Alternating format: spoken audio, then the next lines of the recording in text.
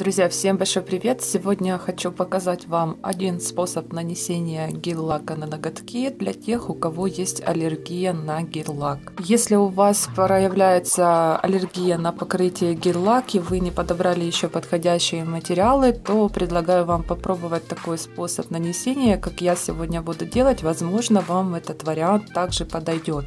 Но лучше же, конечно же, поискать нужные для вас материалы, точнее даже не нужные, а те, что вам подходят. Это самый лучший, самый приемлемый вариант. Хоть эта задача не из легких, так как приходится перепробовать куча разных материалов, которые вам не подходят, потом их куда-то нужно девать, но это не самое такое проблематичное, куда их деть неподходящие, как найти вот именно подходящий материал, так как аллергия может быть даже на гипоаллергенные гель-лаки. Еще хочу заметить, что нужно подбирать всю полностью серию, то есть это не только гель-лак, но и базовое покрытие и топовое покрытие также. То есть вам полностью придется поменять все, но возможно даже только один лак. Только путем проб и экспериментов можно выявить и найти на что у вас аллергия, если же вы, конечно, не сдавали анализы по поводу этой аллергии, аллергопробы, то тогда вам значительно проще будет понять, на какой у вас материал аллергия, и можно посмотреть по составу. Но, честно, такого я еще ни разу не слышала. Если кто-то уже такое делал, девочки, отзовитесь. Эта информация полезная, напишите в комментариях конкретно вот такие случаи, если вы сдавали аллергопробы и вам назвали конкретный компонент, который входит в состав гель-лака, на который у вас аллергия. Ну а сегодня мы без вот этих аллергопроб будем пробовать наносить покрытие так, чтобы оно у нас могло хоть какое-то время проноситься на ноготках. Я также перепробовала много разных материалов. У меня также проявляется аллергия и больше всего у меня проявление в виде жжения ноготков. То есть у меня получается такое жжение в районе ногтевого ложа, что я не могу просто носить покрытие, опухают боковые валики и опять же появляется это жжение и все, покрытие я просто беру и снимаю. Особенно это проявляется, если база либо гель-лак какой-то. В основном, если база очень сильно кислотная, то невозможно даже носить такое покрытие, даже сутки не могу его проносить. Поэтому я подбираю менее кислотные материалы.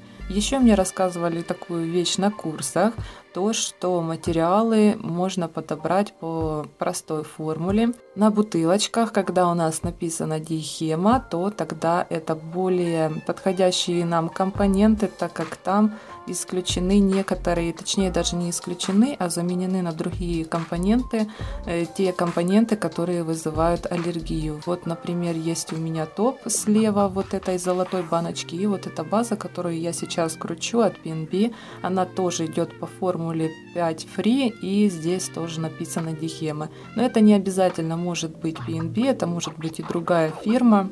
Иногда это помогает, а иногда это не помогает. Вообще, самый верный способ это путем проб, только так мы можем что-то подобрать. И давайте начинать уже это покрытие, которое я хочу вам показать. Ничего здесь сложного нету. И первое, что мы начинаем делать, это маникюр. И сразу я вам скажу, что маникюр отложите в стороночку, если у вас аллергия, и сделайте его за 2 или за 3 дня до того, как вы будете делать покрытие. Это нужно для того, чтобы у вас зажили какие-то маленькие микротрещинки после маникюра, и чтобы при контакте с материалом у вас не вызывал этот материал аллергию при попадании в эти малюсенькие микротрещины. Поэтому маникюр сделайте заранее, походите так 2 или 3 денечка. Потом просто возьмете апельсиновую палочку, либо пушер, так как вот я, и отодвинете совсем вот тот чуток кутикулы, который за этот период у вас отрастет. Много кутикулы за это время не нарастет, птеригии вы оттуда вычистите и можно смело будет сейчас сделать покрытие после этих двух-трех дней после маникюрчика. Дальше по поводу шлифовки ногтевой пластины, если вы делаете первый раз покрытие гель-лаком, то мы поднимаем слегка чешуйки на ноготочки и делаем это слегка-слегка, особенно если у вас тонкие ногти. Если тонкие ногти, то тогда лучше вообще использовать баф. Делаем это один раз только при первом покрытии. Дальше поднимаем чешуйки только возле кутикулы, где ноготочек отрос. Следующий пункт это то, что нам обезжириватель желательно бы заменить на обычный спирт, что я и сделала.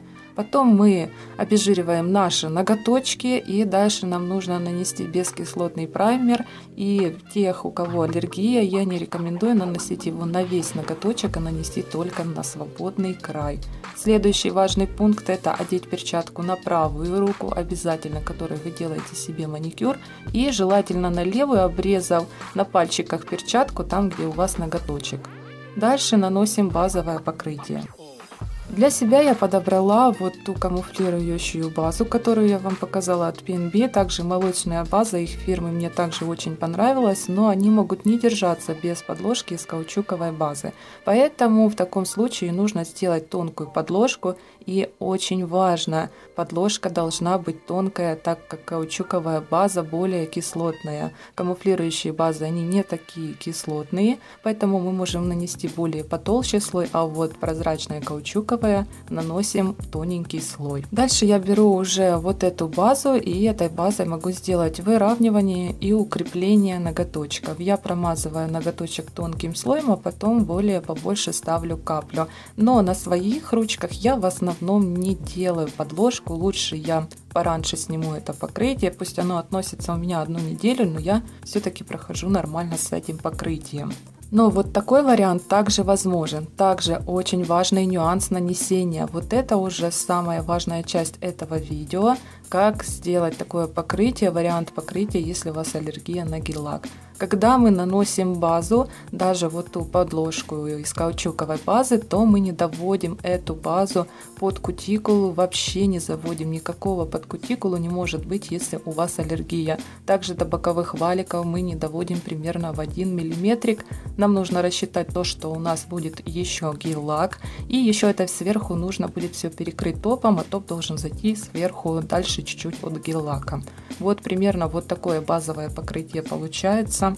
У меня довольно-таки большой отступ от кутикулы и боковых валиков. И это самая важная фишка данного видео, данного покрытия, варианта такого покрытия для аллергетиков, у кого аллергия на гель-лак. Попробуйте такой вариант.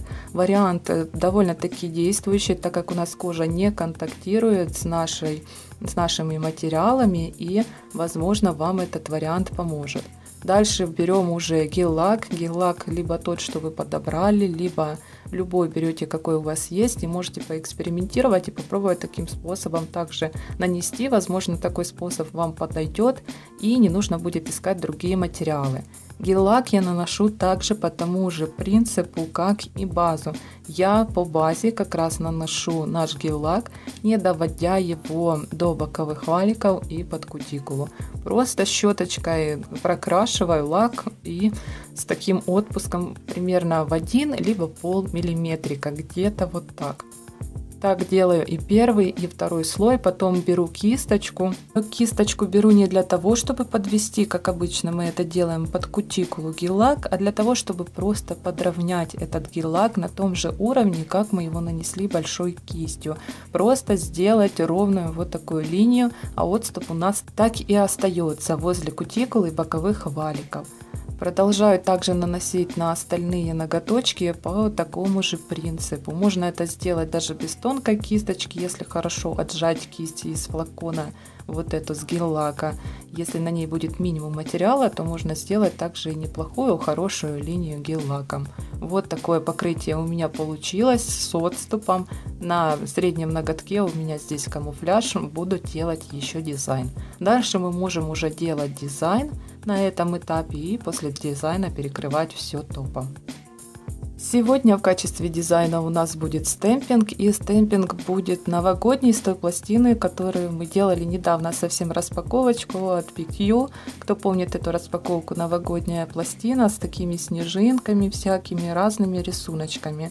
Я хочу сегодня сделать вот такой дизайн, перенести вот такой вот носочек. Еще я его разукрасила там, где листики немного зелененьким, и где носочек, э, сам вот этого носочка, я сделала белым лаком. Использовала густые лаки, которые у меня плохо переводятся на пластине, но они все-таки очень густые, нужно разводить даже для вот этой цели.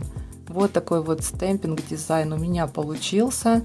И теперь можно это все перекрывать уже топом. Дальше топом перекрываем все по тому же принципу. Нам нужно оставить все равно отступ. Но теперь топом мы немножко заходим дальше на гель-лак. Таким образом мы делаем перекрытие топом нашего гель-лака. И все равно отступ должен оставаться. И топ не должен тоже заходить под кутикулу и боковые валики. Все равно у нас примерно пол миллиметрика должно оставаться. Вот такой вот вариант покрытия, если у вас аллергия на гель-лак. Таким образом мы уменьшили контакт материала с нашими боковыми валиками и кутикулой. Попробуйте еще этот способ, если вы не пробовали, и напишите в комментариях, подошел он или нет. Также ставьте лайк, если вам понравилось это видео и если понравился дизайн. Пишите свои комментарии, нажимайте на колокольчик, чтобы не пропускать новые видео.